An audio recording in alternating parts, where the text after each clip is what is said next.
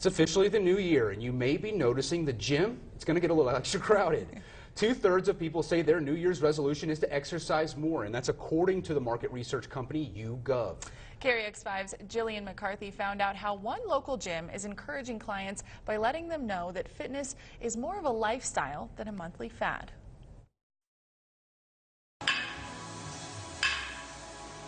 It's kind of that cliche, everyone wants a new start to that year.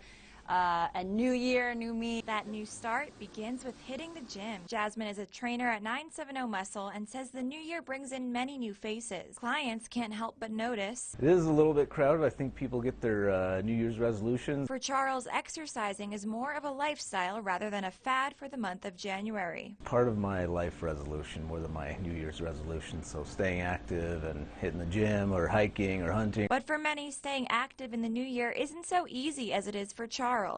Jasmine says the best way to stick to a fitness goal is by starting small. Breaking it down into those mini habits is a more attainable, long sustainable thing than I'm going to do it all in one month and then you crash and burn. Some examples of mini habits can be as simple as putting on your gym sneakers when you get up in the morning, or drinking a gallon of water every day. Focusing on the intention of your fitness goal can also set you up for long-term success. Get your why, an intrinsic why, is so much more long then I just want to sit and I want to fit into a size 5. The intrinsic why for Charles is taking care of his mental health. Your mind and your body are kind of one and the same and uh, one helps out the other. Whether you're a fitness buff or new to exercise, working out alongside driven people can help you stick to your goals all year round. Having a community aspect and having people that you look forward to seeing and they're positive and they're you can't help but